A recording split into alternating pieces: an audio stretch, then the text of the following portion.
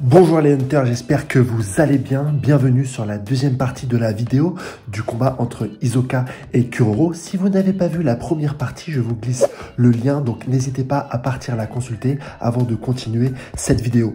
Pour les autres, rentrons directement dans le vif du sujet. Après avoir présenté le contexte de ce combat et les différents naines utilisés par Kuroro, je vais tout vous dire sur ce combat. Donc pour revenir un petit peu dans le contexte, Kuroro et Isoka s'affrontent dans la, dans la tour des combats. Donc Kuroro a accepté l'invitation d'Isoka pour combattre, pour faire un duel. C'est un combat donc c'est un combat à mort.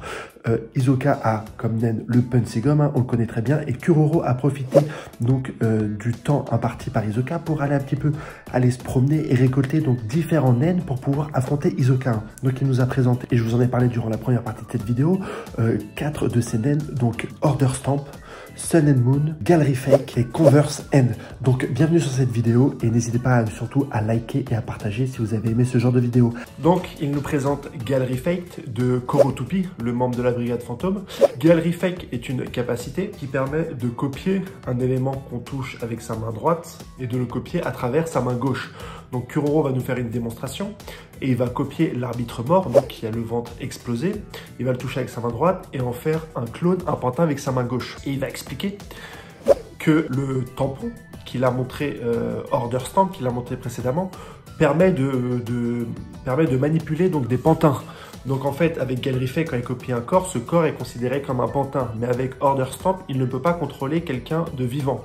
Et il dit, et il explique qu'une de ses capacités, de, de, un de ses travaux à lui, Kuroro, à travers sa capacité Skill Hunter, c'est non seulement de voler le naine, mais aussi de comprendre les subtilités qui font partie de la manière de penser, de la psychologie de la personne à qui il a volé le naine. Autrement dit, si cette personne, elle, dans sa tête, fait une différence entre un pantin et un cadavre, si elle fait la différence entre quelqu'un d'humain et quelqu'un de vivant, alors Kuroro doit prendre en compte cette différence lorsqu'il vole le naine et lorsqu'il veut l'utiliser.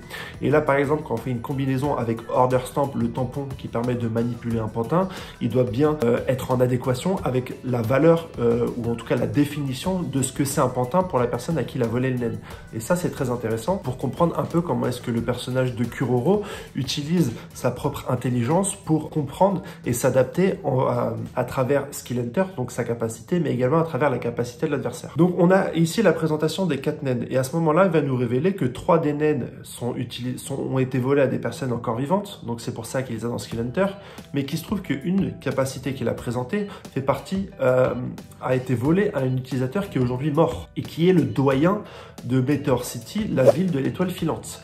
Et il explique donc qu'il a donc euh, Sun and Moon et que c'est un, un qui a survécu à la mort de son créateur, de son possesseur. C'est donc un naine extrêmement puissante.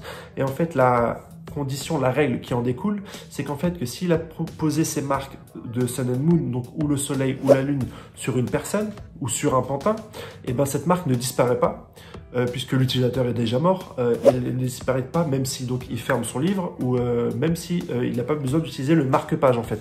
Une fois que la marque de naine est posée, elle elle ne disparaît pas. Et là, Isoka dit ah c'est assez problématique en fait.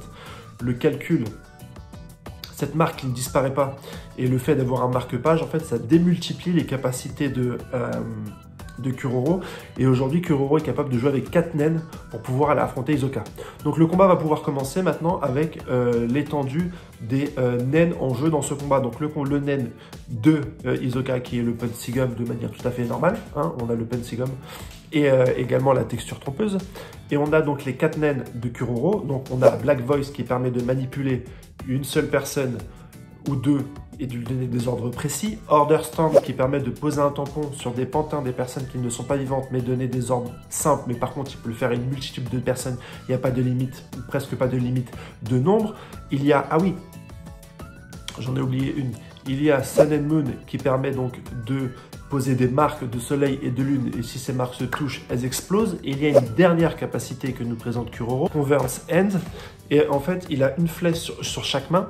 Sur la droite, s'il serre la main à quelqu'un, alors il va donner son apparence à quelqu'un. Et à la gauche, s'il serre, serre la main de quelqu'un de la gauche, il va prendre l'apparence de quelqu'un. À savoir que même si c'est une capacité qui est sur ses deux mains, il peut utiliser euh, la capacité uniquement de la main gauche s'il tient le livre ouvert dans sa main droite. Donc là, c'est une des règles. Il n'a pas besoin d'avoir les deux mains libres et d'avoir le marque-page pour pouvoir utiliser cette capacité. Donc Kuroro va pouvoir manipuler des gens, va pouvoir les dédoubler et va pouvoir converser son apparence avec d'autres personnes. Et il se trouve qu'il a choisi de se battre sur le Full Master là où il y a un public immense. Donc la première chose que va faire bien sûr Kuroro une fois qu'il a énoncé l'intégralité de ses capacités, c'est d'aller se cacher dans le public. Il va être directement poursuivi par Isoka et pour le semer une première fois Isoka, il va planter une aiguille donc avec Black Voice. Et il va demander à quelqu'un de faire écran et d'aller affronter Isoka et donc Isoka va perdre pour la première fois, il va perdre la trace de Kuroro. Donc là, Isoka va réfléchir aux stratégies que Kuroro peut mettre en place.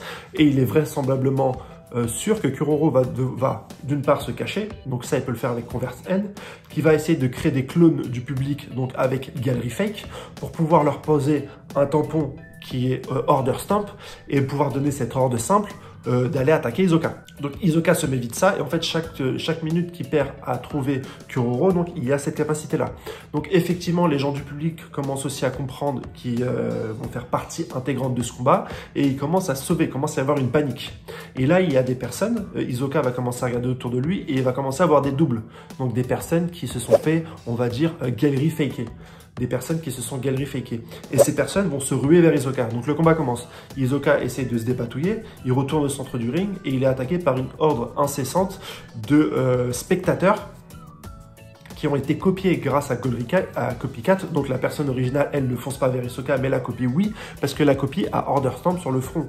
Et que Kuroro a pu donner un ordre simple, puisque comme il a décidé de faire le combat ici, euh, dans la tour des combats, euh, toutes les personnes connaissent Isoka. Donc il peut leur donner un ordre simple. Donc Kuroro avait envisagé déjà ce combat il y a très longtemps, en demandant à Isoka de s'affronter directement dans la tour des combats, à l'étage des Floor Masters, où la plupart des spectateurs sauront très simplement qui est Isoka, ce qui lui permet de donner un ordre simple. Donc là, c'est un élément qui nous permet vraiment de comprendre que Kuro a vraiment préparé ce combat, là où Isoka, lui, a laissé toutes les cartes en main à Kuroro et a juste voulu l'affronter, tomber dans ce piège pour essayer de le démonter de l'intérieur. Isoka s'en tire... Euh, plus bien que mal. Sa technique, lui, c'est de couper la tête à quelqu'un et donc avec son point de sigum, utiliser la tête. Hein, et on apprend qu'une tête, ça fait 8 kg, c'est l'équivalent d'une boule de bowling. Cette tête remplie de il va shooter l'intégralité des personnes qui, est autour de lui.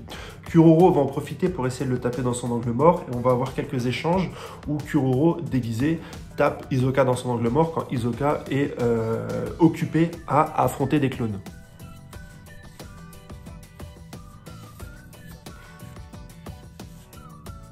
Isoka va très, simple, va très rapidement anticiper par quel angle mort Kuroro l'affronte et va le toucher à deux occasions, une fois à la côte, une fois à la tête, en utilisant son sigum, une fois avec son bras et une fois avec son pied. Son sigum relié donc à une tête qu'il a coupée de ses clones qui viennent par milliers et qu'il a rabattu directement sur Kuroro pour lui infliger euh, des dégâts.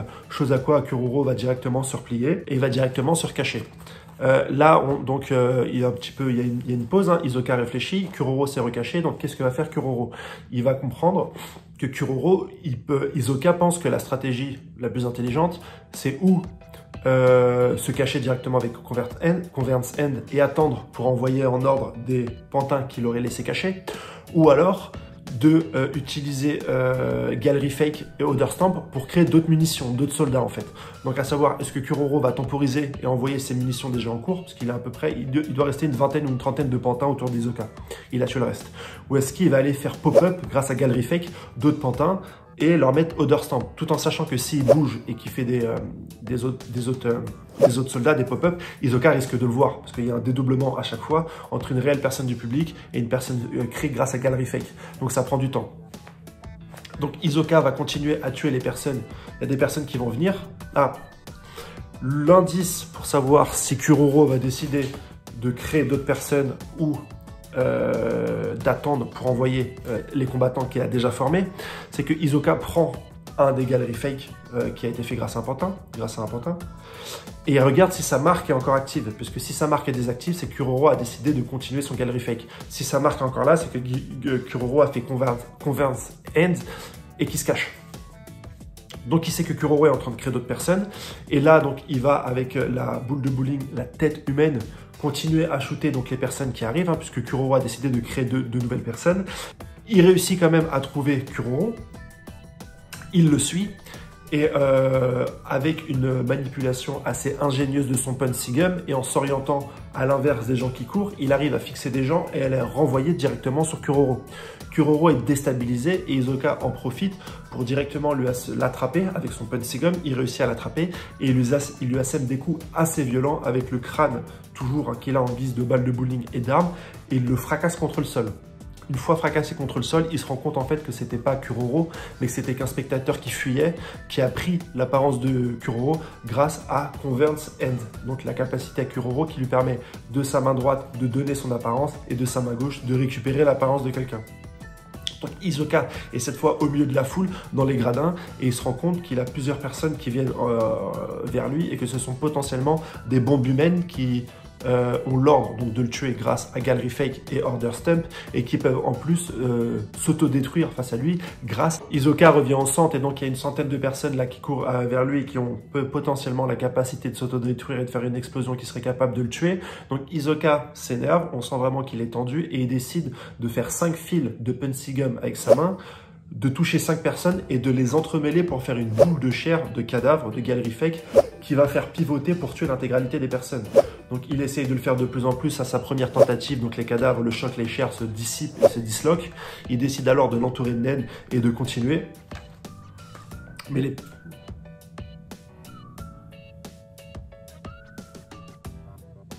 Et c'est à ce moment-là que sa main saute et donc il, va, il décide d'aller directement à l'étage. Et à l'étage, avec une multitude d'explosions, en fait, les, les commencent à l'atteindre et commencent à exploser. Donc Isoka se retrouve dans les airs dos au ring, face au plafond. Il essaye donc de faire un punsigum avec sa jambe puisqu'il a déjà une main éclatée avec laquelle il ne peut plus utiliser le naine. Un fil vers le toit pour se sauver mais il n'y arrive pas. Parce qu'une de ses jambes, enfin un de ses bras est détruit et avec la dernière explosion, une de ses jambes a également été détruite. Et donc là, il a essayé d'utiliser sa deuxième jambe, mais en fait Kuroro est dans les gradins et lui balance des euh, membres du public pour l'empêcher de se mouvoir. Donc Isoka est en train de tomber dans la fosse, la fosse où il y a près d'une centaine de bombes humaines qui l'attendent. Et là, il décide donc euh, d'accepter sa mort et de se recouvrir complètement de naine. Et donc, il y a une énorme explosion en fait. Il touche, il est submergé par les pantins qui se trouvent dans la fosse au rez-de-chaussée. Ces personnes se jettent sur lui et explosent. Le scan d'après, on voit la tour de Yorkshire City complètement exploser, l'étage a complètement sauté et on apprend donc que Isoka, qui a une centaine, 200 morts et que Isoka est mort. Que Isoka est complètement mort, qu'il a été étouffé, qu'il a, été, euh, qu'il a été mort, qu'il a été pris dans l'explosion et qu'il est mort. Donc le combat est fini et on apprend que Isoka est mort. Charnak et euh vérifie le corps, avec Machi, donc c'est sûr qu'il est mort. Et euh, donc Charles part et Machi prend la décision donc de leur rafistoler un peu son cadavre parce qu'elle a un petit peu des sentiments envers Isoka du fait qu'il ait libéré le naine de Kuroro. Et donc elle, lui dit que par respect après sa mort, elle souhaite quand même le, le rafistoler un peu, lui donner une belle apparence. Hein. Et c'est là que en fait le Pensigum autour du cœur d'Isoka se met à s'activer, à se battre. Et euh, même chose pour les poumons. Et Isoka ressuscite. Isoka ressuscite, il prend un peu connaissance du fait qu'il est perdu contre Kuroro, et donc là, euh, il fait mine de, partir, hein, il fait mine d'en avoir assez, il emprisonne Machi et il lui dit c'est très simple, maintenant je vais arrêter de jouer, je vais arrêter de me jeter dans la gueule du loup pour pouvoir aller voir les stratégies de mes adversaires, je vais tuer Kuroro et je vais tuer l'intégralité des gens de la brigade fantôme, mais en traite, plus en les affrontant de face et en, euh, et en subissant les stratégies, maintenant je vais prendre la décision en fait d'agir dans l'ombre, d'agir comme un véritable tueur et de tous les tuer. Il libère, euh, donc il, sauve et il le tue pas mâché. Il lui donne l'ordre de transmettre ses dernières volontés. Et ensuite, coup sur coup, il, tue directement et et Kurutobi. Euh, à ce moment-là, donc il les tue, on les voit, ils sont directement morts. Il, il prend même pas le temps de discuter, de parler, il les tue. Donc à ce moment-là, euh, on retourne sur Kuroro et on apprend que Kuroro souhaite aller directement sur le bateau qui a été mis en place par l'état de Kakin parce qu'il souhaite voler l'intégralité des choses euh, de ce nouveau monde-là. Donc il appelle la brigade, il réunit tout le monde, il ne sait pas encore que Isoka est vivant et qu'il a tué et Charnak et Kurutopie et il dit à tout le monde de se rassembler pour aller rejoindre cette expédition et aller vers le nouveau monde.